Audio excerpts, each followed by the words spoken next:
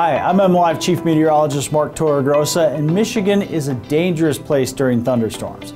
We rank number two out of 50 states for the number of deaths and injuries from lightning since 1959. We like to play golf, boat, fish, camp, farm, and play soccer and baseball here in Michigan. Well, guess what? Those are the most dangerous activities when it comes to being exposed to lightning. Golf gets a bad rap for being an activity that gives you an increased chance of being struck by lightning, but golfers have gotten smarter over the years and deaths and injuries from lightning during golfing is going down. Soccer and baseball have now become very dangerous activities in thunderstorms. Here's how the demographics break down for chances of being struck by lightning. Men are more likely to be struck than women. Boys aged 12 to 20 are the most likely to be struck. When and where should you take cover? If you see lightning or hear thunder, you are close enough to be struck.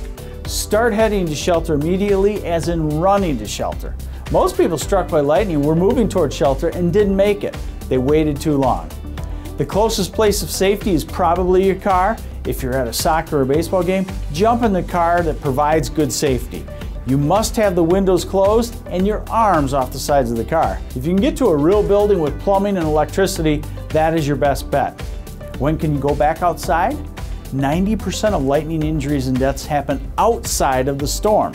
When it starts to pour, we run to shelter and avoid getting soaked. But lightning very often will strike before the rain hits or after the rain stops.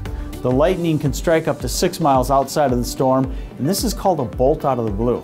This bolt out of the blue will start at the top of the storm and travel outward to strike the spot several miles away. We should wait 30 minutes after the last rumble of thunder before returning outside. Just remember, when thunder roars, go indoors. Stay one step ahead of Mother Nature and subscribe to our MLive YouTube channel.